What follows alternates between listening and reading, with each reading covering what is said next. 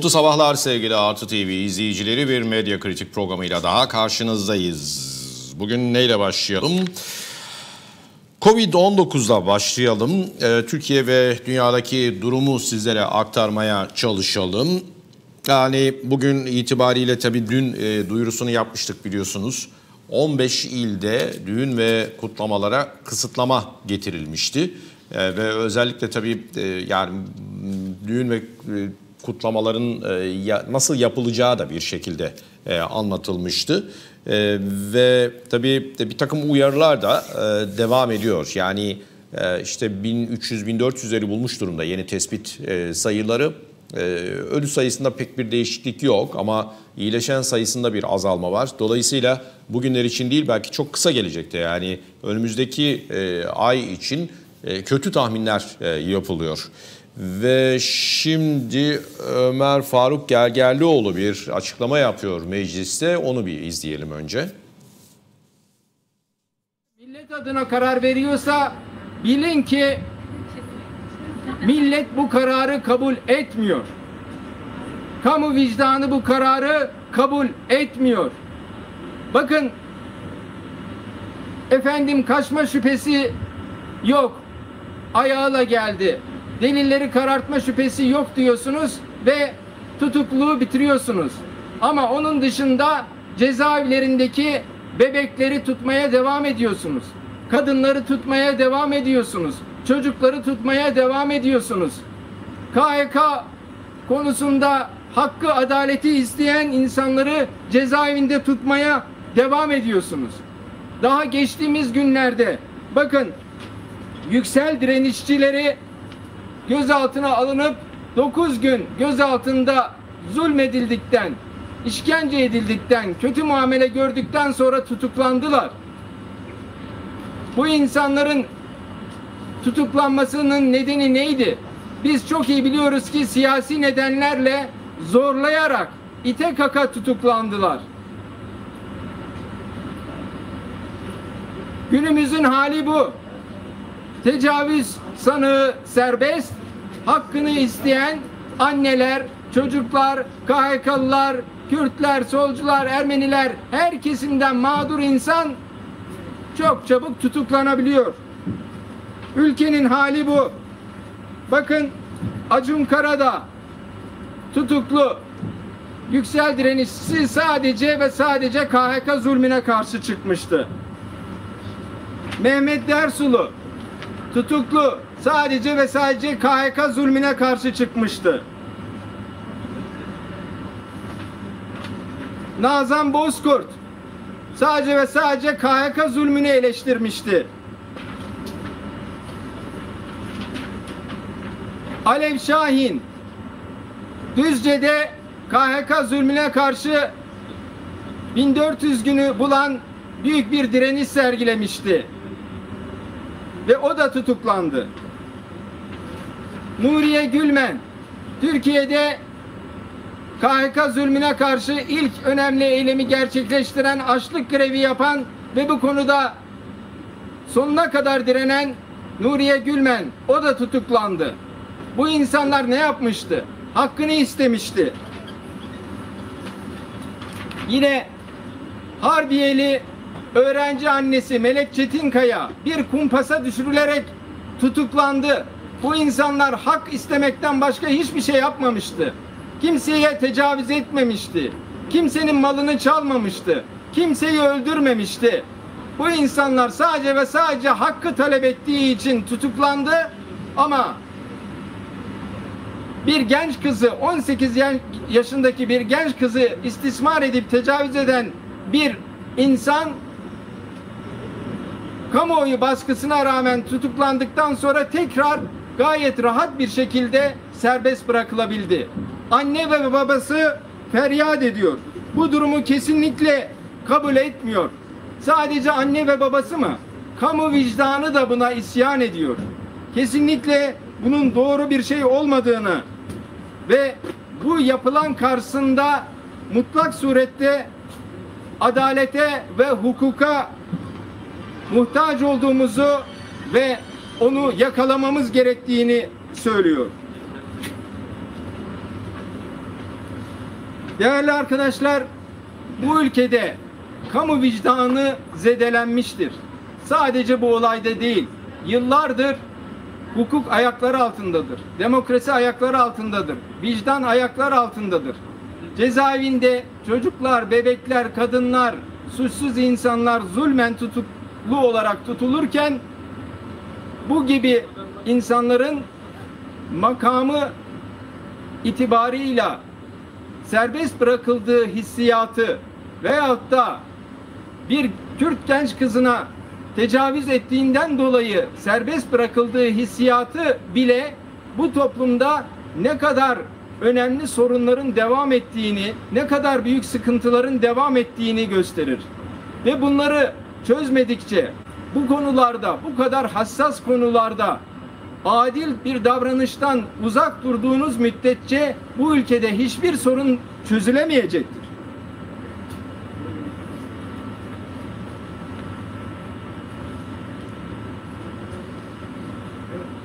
Geçtiğimiz günlerde 15 Temmuz darbe girişimi sonrası yaşananlarla ilgili medyaya önemli haberler düştü. Medyada çıkan haberlere göre 15 Temmuz sonrası toplu bir şekilde spor salonunda tutulan insanlara inanılmaz derecede darp yapıldı, kötü muamele ve işkence yapıldı. İşte o gece o spor salonunda bulunan ve yüzlerce kişiyi muayene eden ismini vermek istemeyen bir doktorun anlattıkları. İşkenceyi gördüm ve kayda geçirdim diyor. Doktor raporlarına yazdım ama hepsinin üstü örtüldü diyor. Bize getirilen askerlerin hepsi dövülmüştü diyor. Kimisinin gözü içeriye çökmüştü, kimisi daha ağır darplarla darp edilmişti. Kimisine bırakın ölsün deniliyordu. Değerli arkadaşlar, kim olursa olsun işkence suçtur.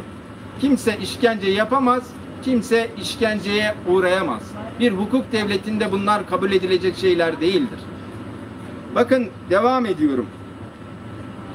O geceye dair bazı kişilerin tecavüze uğradığına dair bulgularım da var diyen bir doktorla karşı karşıyayız.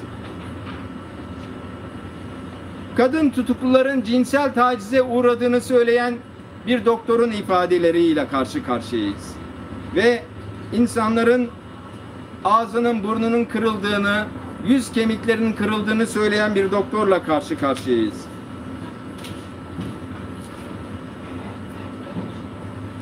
İnsanlara günlerce su verilmediğini ve kasten işkence edildiğini, profesyonel işkenceler yapıldığını söyleyen bir doktorla karşı karşıyayız.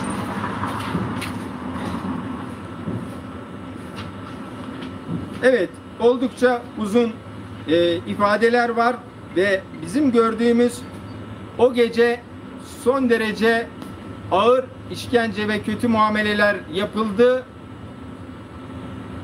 ve kimse bunun hesabını sormadı. Değerli arkadaşlar, Türkiye cezaevlerinde de sorunlar devam ediyor. Ben şunu açıkça söylemek isterim. Biz e, Türkiye Büyük Millet Meclisi İnsan Hakları Komisyonu olarak e, cezaevlerine gidip tetkikler yapıyoruz. Raporlar düzenliyoruz ve sonuçlarını açıklıyoruz. Düzeltilmesi gerektiğini söylüyoruz. Sonuç ne mi oluyor? Hiçbir şey düzeltilmiyor. İnanılmaz bir şey ama maalesef bu. Biz iş yapıyormuşuz gibi görünüyor. Raporlar düzenliyoruz. Ama ceza tevkif işleri ve Adalet Bakanlığı cezaevlerinde tek bir düzenleme yapmıyor. İşte bakın bunun belgesi. Diyarbakır cezaevi raporu düzenlemiştik. Türkiye Büyük Millet Meclisi İnsan Hakları Komisyonu olarak. Ve biz bu raporda kadın koğuşlarının e, mahrem yerlerini gören kameralar olduğunu söylemiştik. Düşünün banyonun önünü gören kameralar var. Kadın mahpusların hepsi bundan son derece şikayetçi. Bu siyasi bir konu değil. Kadın banyodan çıkıyor, kamera tak onun üstünde. Bunun uygun olmadığını raporumuzda da belirttik. Değiştirilmesi gerektiğini söyledik. Bir yıl önce söyledik bunu. Bugün durum nedir biliyor musunuz? Değişen bir şey yok. Kameralar yine aynı yerinde. Yine çıplak arama konusu. Çıplak aramanın devam ettiğini söyleyelim. Biz bunları eleştirdiğimiz halde. En son 10 günlük lohusa eylem oyunlu cezaevine girerken çıplak aramaya maruz bırakıldı. Düşünün bir kadın 10 günlük lahusa ve çıplak aramaya maruz bırakılıyor. O kadının psikolojisini ne hale getiriyorsunuz?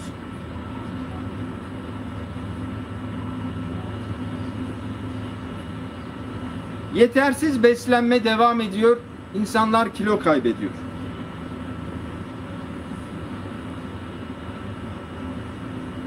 Sosyal aktiviteler bitirilmiş durumda maalesef şu anda.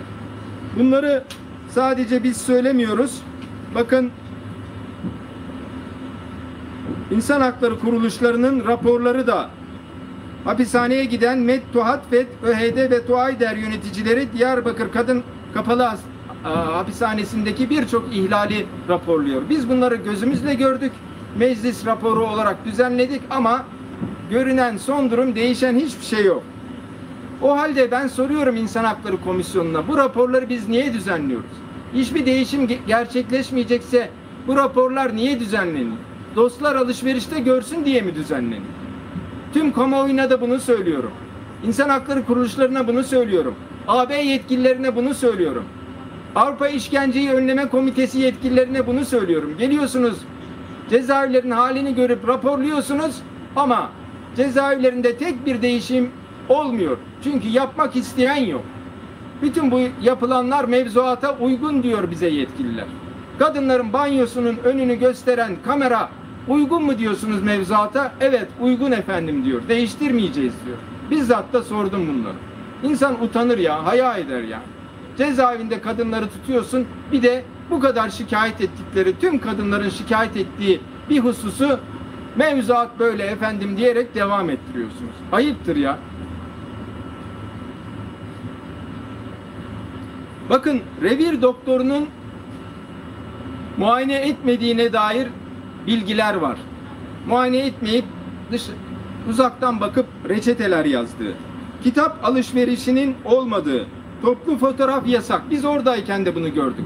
Üç kişiden fazla ko koğuşta fotoğraf çektirmek yasak. Bunun anlamı nedir? Var mı mevzuatta bir yeri diye sorduk. Hiçbir açıklama yapılamadı. Şimdi bakıyoruz aynı yasaklar devam ediyor.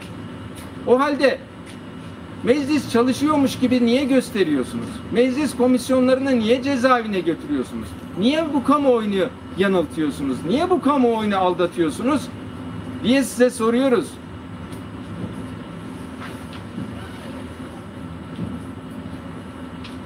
Mektuplar yine çok geç geliyor ve gidiyor.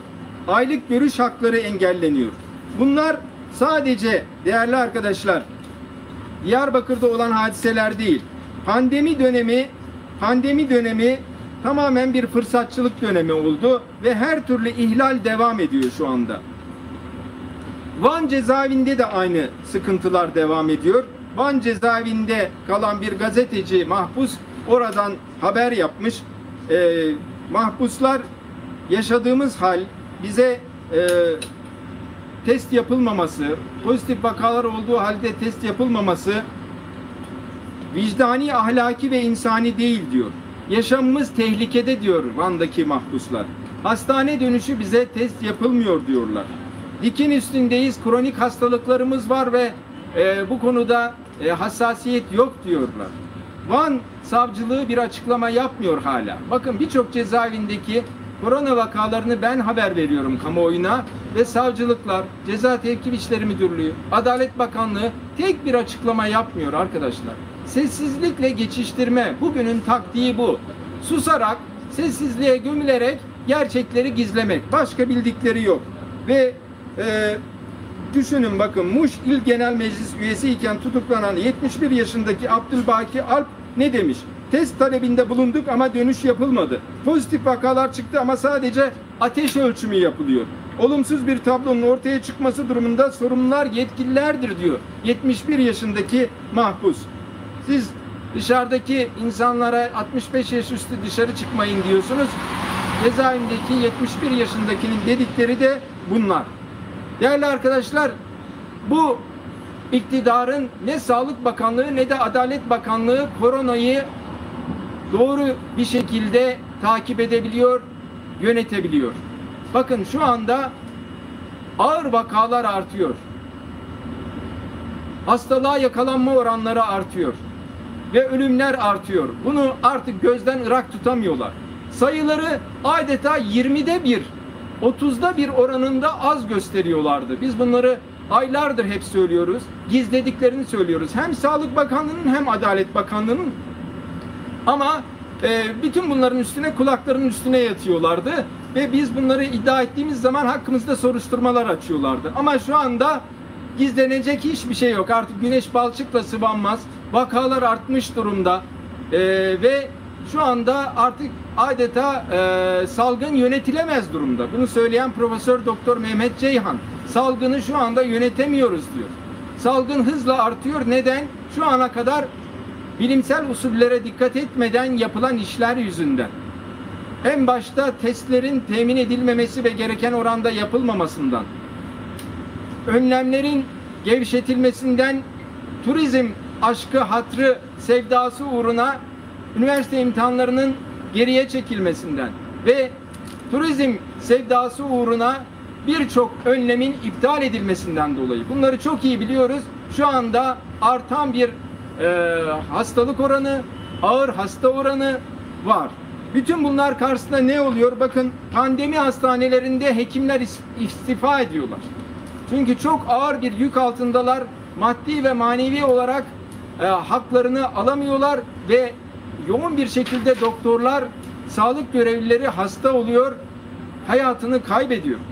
Bunun önlemi zamanında alınmadığı için tüm kamuoyunun sağlığını koruyacak olan sağlıkçılar hastalanıyor, ölüyor veyahut da sağ kalanlar bu kara tablo nedeniyle istifa ediyorlar arkadaşlar. Bakın en son Alanya Eğitim Araştırma Hastanesi'nde görev yapan 5 göğüs hastalıkları uzmanı istifa etti. Sadece Alanya değil, ülkenin birçok yerinden böyle haberler geliyor. Hekimler yorgunluk ve tükenme halindeler. Korona meslek hastalığı bile kabul edilmiyor. En azından en çok risk altında olan göğüs hastalıkları, enfeksiyon hastalıkları, acil hastalıkları hekimleri e, de göz önünde bulundurularak meslek hastalığı olduğu kabul edilmeli. Sağlık çalışanlarının sesine kulak verilmeli. Sağlık çalışanlarının yaşadığı sorunları aylardır gündeme getiriyoruz ama göz ardı ediliyor. İstifa sayılarından her yerden önemli haberler geliyor. Bakın Bursa'da 3 ayda 21 hekim istifa etmiş.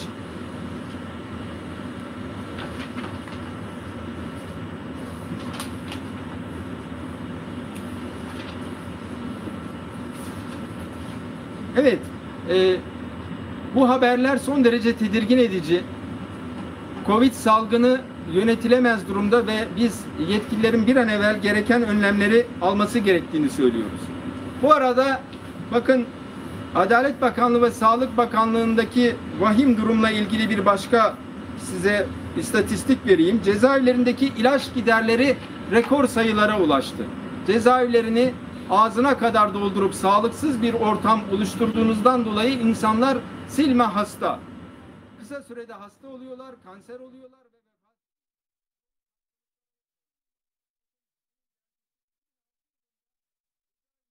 yapılan sağlık ilaca harcanan para, ilaç giderleri 7,9 milyonken 2016'da 79,8 milyon e, olmuş.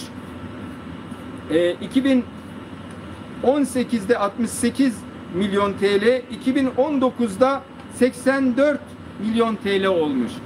2020'nin ilk, ilk 7 ayında ise çok büyük bir pik yaparak 115 milyon TL'ye ulaşmış. Bu ne demek? Cezaevleri artık kaldırılamaz bir halde ve e, alarm veriyor.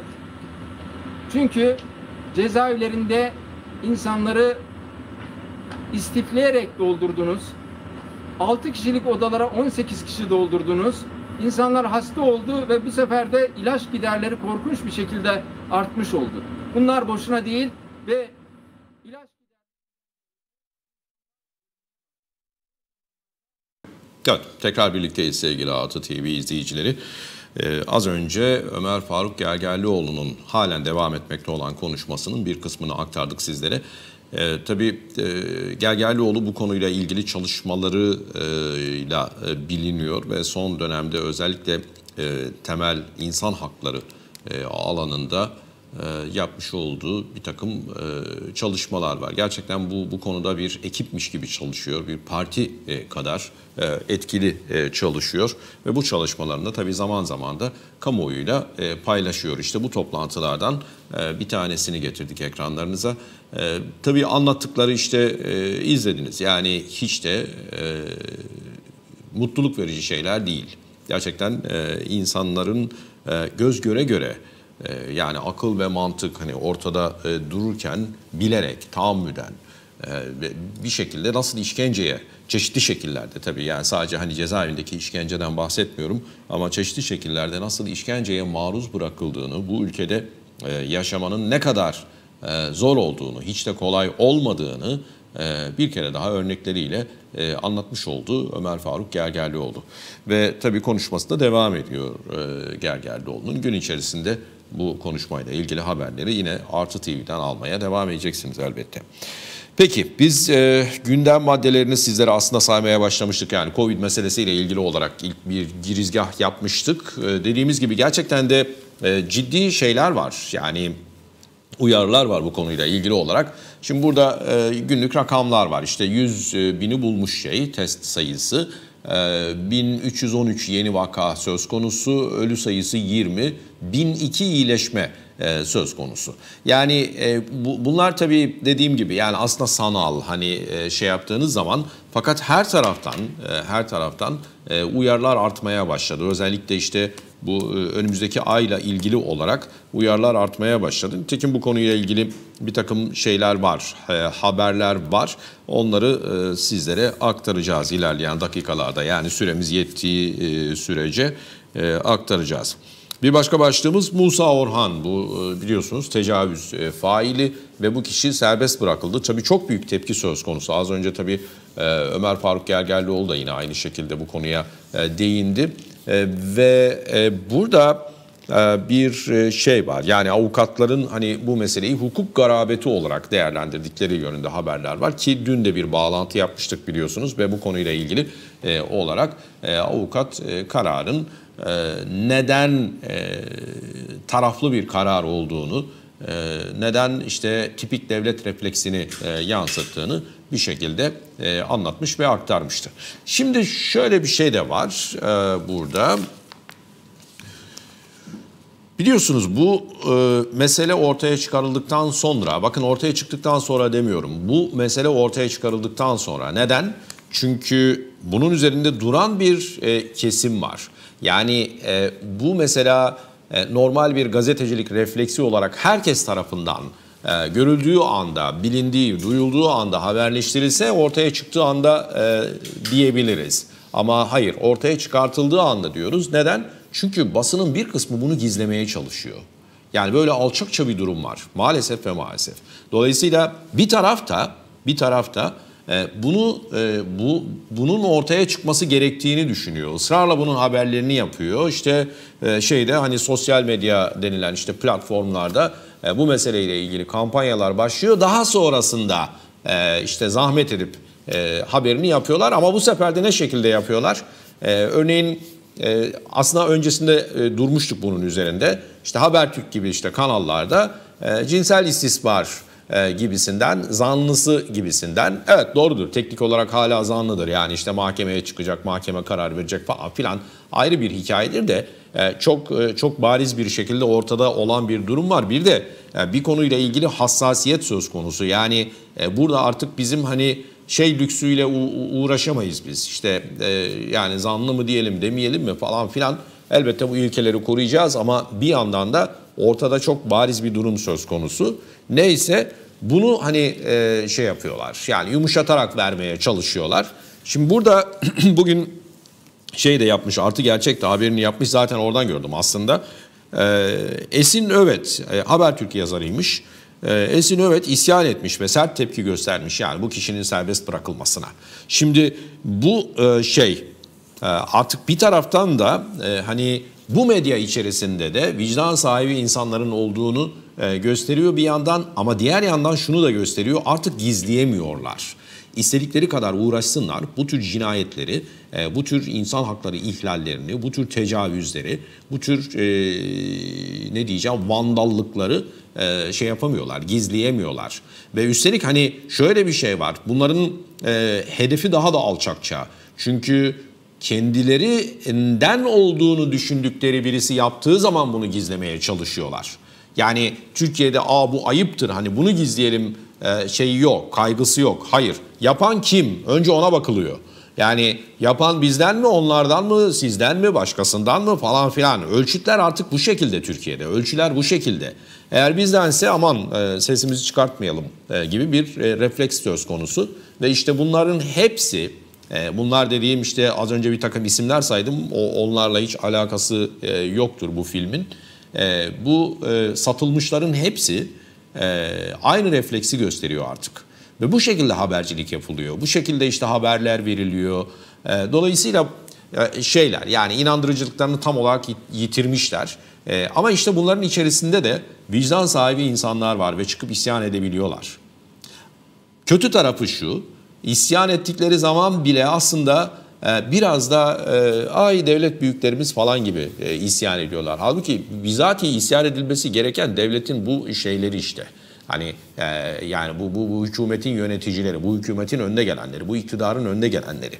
Aslında isyan edilmesi gerekenler bunlar. Ve topluma hesap vermesi gerekenler bunlar. Eğer burada bir fotoğraf görülüyorsa şimdi bu fotoğrafın arkasında başka fotoğraflar var. Siz onları da e, görmeye çalışın. Evet şimdi bakın mesela İçişleri Bakanı Süleyman Soylu'ydu galiba ekrana gelen kişi. Gözüm bozuk olduğu için öyle bir daha bakayım neyse. Şimdi mesela bu konuyla ilgili haberler e, yapıldı değil mi? Evet. Bu haberleri yapanlardan bir tanesi de Tele1 kanalı. Ve onlarla ilgili olarak şimdi e, yeni bir işte yasal süreç başlatacaklarını ifade etmişler. Yani İçişleri Bakanlığı'nın açıklamasında böyle bir şey var. Neden? Çünkü İçişleri Bakanı çıkıp diyor ki e, bu konu istismar ediliyor. İşte PKK ve HDP falan filan. Yahu ortada tecavüz var. Yani e, tecavüz olunca insanlar tecavüz var demeyecek mi? Bu konuyla ilgili olarak konuşmayacaklar mı? Ya da bu tecavüzün e, hangi şartlarda e, olduğu e, ve bunun e, bunu motive eden şartların ne olduğu, bunu bunu kimlerin motive ettiği, hangi düşüncenin motive ettiği konusunda bir fikir ortaya koymayacaklar mı? Eğer bunlar ortaya konulmazsa toplum içerisinde böyle şeyler önlenebilir mi? Önlenemez. Ama bunların konuşulmasından rahatsızlar ve bunların konuşulmasını istemedikleri için de şey var. Türkiye'de iki tane fıstık gibi bahane var. Yani bir PKK, iki şey e, din. Hangi konuda konuşursanız konuşun mutlaka bir tanesine indirgiyorlar. E, ona düşman ya da onun tarafında ya da onun bilmem nesinde olduğunu söylüyorlar. Ondan sonra da şey e, size e, her türlü e, hakareti e, yapabiliyorlar ve her türlü bahaneyi de e, uydurabiliyorlar. Yani işte burada siz e, aman aman işte HDP'nin işine yarayacak diye sakın bu şeyi e, konuşmayın, tecavüzü konuşmayın. Niye? HDP'nin işine yarar. Yani Kürtlerin işine yarar bu. Ya da işte Kürtlerin acısını bir şekilde ortaya çıkartabilir. Ya da maazallah PKK propagandası falan olabilir yani. Aman aman tecavüzden bahsetmeyeceksiniz. Neden bahsetmiyoruz? Tecavüzden bahsetmiyoruz. Dikkat edin. Herhangi bir siyasal meseleden falan değil insani bir meseleden, insanın içinde, insan unsurunun unsurunun içinde olduğu bir meseleden bahsediyoruz. Ama e, Süleyman Soylu, İçişleri Bakanı e, meseleyi ya büyük yetenek aynı zamanda buralara getirebiliyor. Şimdi Tele1 bunun haberini yaptığı için daha doğrusu buradan da yola çıkıp aynı zamanda e, şey yaptığı için hani bir, bir takım işte e, göndermeler yaptığı için bunlar işte şeye e, terör örgütlerine müzahir falan filan gibisinden böyle bir takım şeylerle e, ifadelerle bunlara yönelik olarak işte bir şey başlatacaklarmış. Böyle bir şey. Yani yarın bu e, bizim başımıza da gelebilir. Ne bileyim X bir e, kanalın başına da gelebilir. Siz yeter ki şey yapın çok basit bir şekilde gerçekleri söyleyin ya da olguları olması gerektiği gibi görün. Olayları da olması gerektiği gibi e, görün e, ve e, bağlamını o şekilde kurup e, işte tecavüzü tecavüz üzerinden e, konuşun. Bakın bakalım neler geliyor başınıza. Artık ülkede bir de böyle bir şey var. Yani her şey birbirine karıştırılmış durumda, karışmış durumda ve bunun da mimarı e, AKP. Peki şimdi devam edelim bir başka e, başlıkla. E,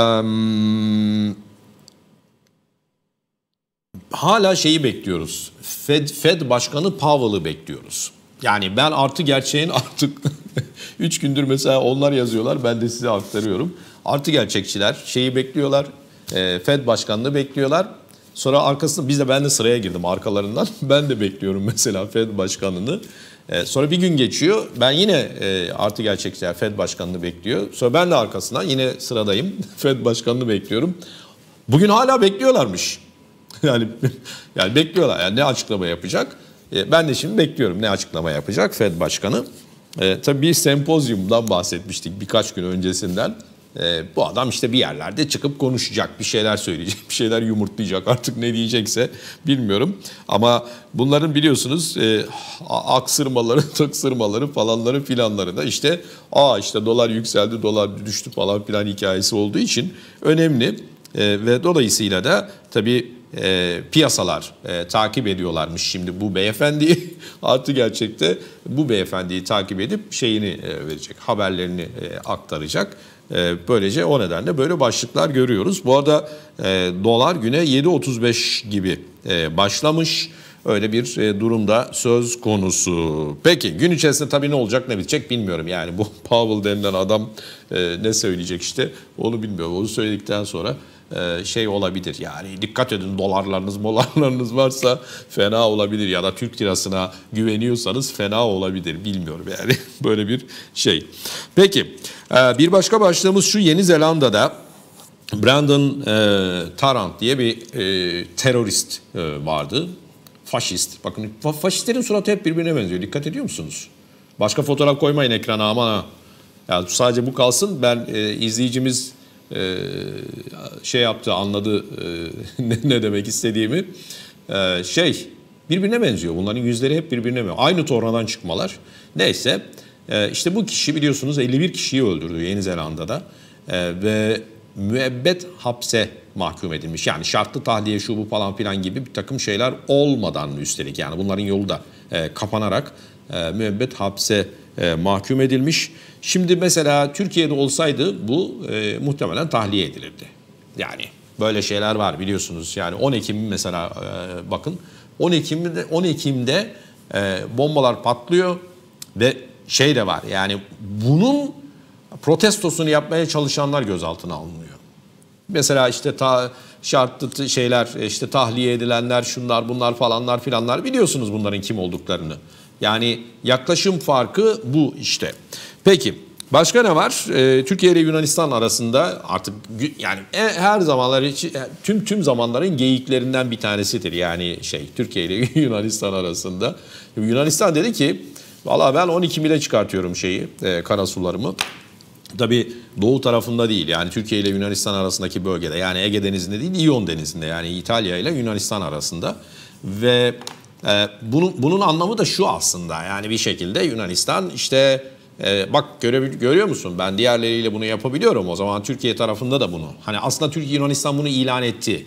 Yani Türkiye ile Türkiye tarafındaki yoksa Ege Denizi'ne ilan etti bunu ama e, pratiğe geçirmiş değil.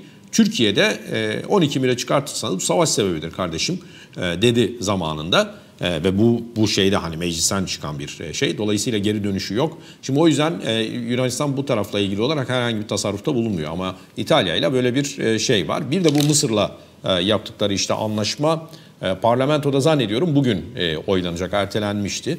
E, bugün oylanacak.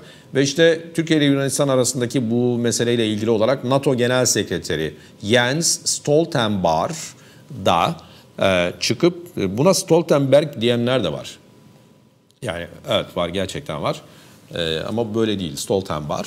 e, diyor ki e, ben e, diyalog yolunu destekliyorum. Bu bu adam e, biliyorsunuz şey var işte Erdoğan çıkıp mesela şey dediği zaman biz NATO üyesi değil miyiz kardeşim niye bize 5. madde 4. madde onu yardım etmiyorsunuz falan dediği zaman e, gayet kibar bir şekilde e, cevap veriyor. Ve evet aslında e, Türkiye'nin de bir takım hakları var yani Türkiye önemli bir müttefiktir onu dikkate almalıyız gibi ifadeler kullanıyor.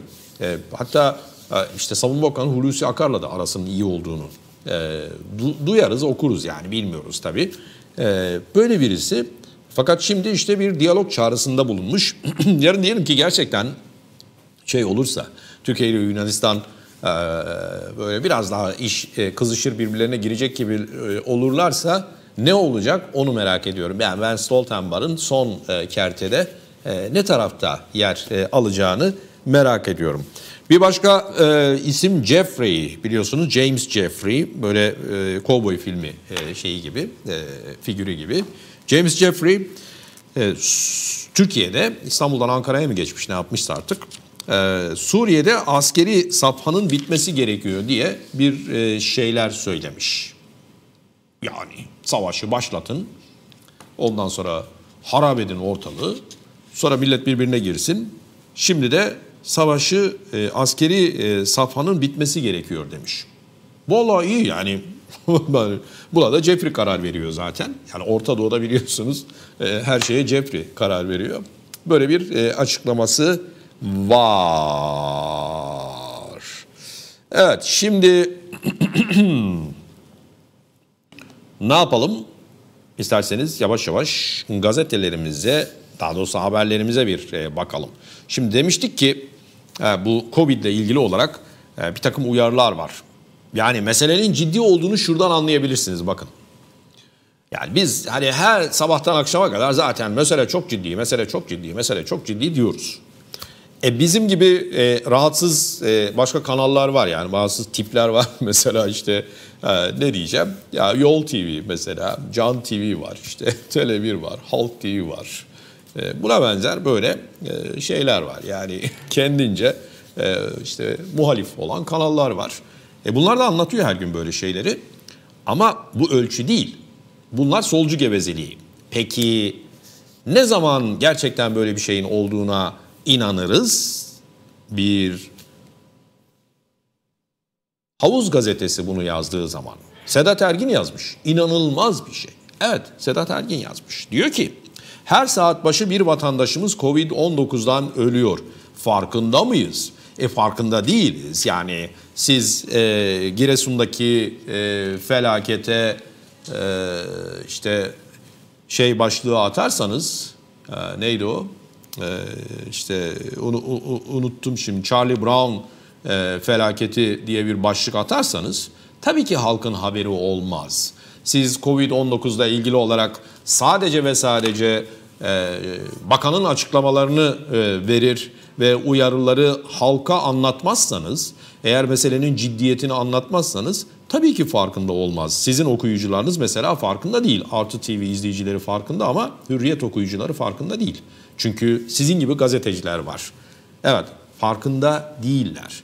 Ama orada bile e, şey varsa eğer, hani artık e, farkında mıyız ya? Her gün bir tane her saat başı birisi ölüyor. Yani bu iş ciddi galiba diyenler varsa iş gerçekten ciddi demek ki. Peki başka ne var? E, bu konuyla ilgili olarak yani bir gazetecinin hani e, şeyi tamam değerlendirmesi bu şekilde. Ama e, Bir Gün Gazetesi'nde şöyle bir haber var. Bilim Kurulu'nun halk sağlığı uzmanı Profesör Levent Akın yeni tip koronavirüs salgını devam ederken kışın gelmesiyle birlikte grip vakalarında da artış yaşanacağına dikkat çekerek çifte darbe olabilir dedi. Yani şimdi dün bir yerde okumuştum. Nerede okumuştum hatırlamıyorum ama grip aşılarının e, neredeyse tükendiği yani eczanelerde bulunmadığı yönünde bir haber. Çünkü millet saldırmış şeye, grip aşılarına falan filan. Evet şimdi burada e, bir başka ne var? E, uyarı var. Yani e, griple birlikte çifte darbe e, olabilir diye bir şey bu. Şimdi burada bir başka habere dikkat çekmek lazım. Batman'da 7 hasta yoğun bakım sırası beklerken öldü. Şimdi bu işin gereği yapılıyor mu yapılmıyor mu az önce e, Ömer Faruk Gergerlioğlu sağlık çalışanlarının özellikle yaşadıklarıyla ilgili ayrıntılı e, örnekler sundu. Ve e, birçok yerde işte istifalar e, yaşanıyor. Çünkü sağlık çalışanlarının canını çıkartmış durumdayız. E, bu şey mi? Gerçekten mesela sayı yeterli olmadığı için insanların fazla çalışması vesaireyle ilgili bir durum mu? Ee, zannetmiyorum. Bilmiyorum, bil, biliyorum demiyorum. Zannetmiyorum. Yani bu e, bir, bir düzenleme ile ilgili, iki şunla ilgili. Biz aslında e, bu şeyi, e, salgını e, insanlara yokmuş gibi e, anlatıyoruz devlet olarak. Ama gerçekte var. Bu da bunu gösteriyor. Ve burada bakın e, bu örnek çarpıcı bir örnek. Yani Batman'da e, 7 hasta yoğun bakım sırası beklerken öldü. Artı gerçekten bir haber e, bu da. Bu da e, gündemle ilgili bir başka haber. Peki nereye gelelim şimdi? Gelelim, gelelim. Bu arada tabii e, şey bu Musa Orhan'ın şeyiyle ilgili olarak yani tahliyesiyle ilgili olarak az önce aktardım Habertürk yazarı e, şöyle bir e, yani sadece bir girizgahı aktaracağım size. Esin evet şunu söylüyor. Hayır o mecliste oturan insanların eşleri, kız çocukları, ablaları, anaları, bacıları da mı rahatsız değil? Allah aşkına bir ses verin, bir tepki verin. Ve şöyle bir şey, giriş şöyle. Yine bir tecavüz ve yine beklendik karar. Artık yani hakikaten şey var yani top, toplumda ama nasılsa bir şey olmaz e, şeyi var. Tecavüze uğrayan öldü, tecavüzü gerçekleştiren serbest. Güler misin, ağlar mısın? Delirir misin, delirelim mi? Ki çoktan delirdik diyor e, Esin Ömer. Tebrik etmek lazım gerçekten de e, şey. Yani bu konuyla ilgili olarak çünkü dediğim gibi yani bunlara karşı gelmek artık e, şey sayılabiliyor. Yani öyle bir e, devlet yapısı, öyle bir iktidar yapısı, e, öyle bir zihniyet var ki ortalıkta. Herhangi bir şeye itiraz ettiğiniz zaman hemen size şucu bucu, ocu bilmem neci falan filan diyebiliyorlar ve acımasız bir şekilde işinize son verebiliyorlar. Yani hayatınızı karartabiliyorlar sizin. Bu nedenle hani burada çalışan, buralarda çalışan bu ee, insanların işi de kolay değil. Tercihtir ayrı mesele, eleştiririz sonuna kadar ayrı mesele ama böyle bir şeyleri de var. Ve bu nedenle işte cesaret gerektiriyor. Yani Sedat Ergin'in mesela işte Covid-19'dan her saat bir, bir kişi ölüyor farkında mısınız diye yazması bile cesaret. Maalesef yani bu, bu mesele buraya kadar gelmiş durumda. Ve burada Habertürk yazarının da bu meseleye bu şekilde yaklaşmış olması da gerçekten takdire şayan. Yani onu e, söylemek e, gerekiyor. Ve şimdi bu arada tabii bu e, Türkiye ile Yunanistan arasındaki meseleyi az önce sizlere e, aktarırken yani NATO'nun hani diyalog çağrısı falan filan dedik.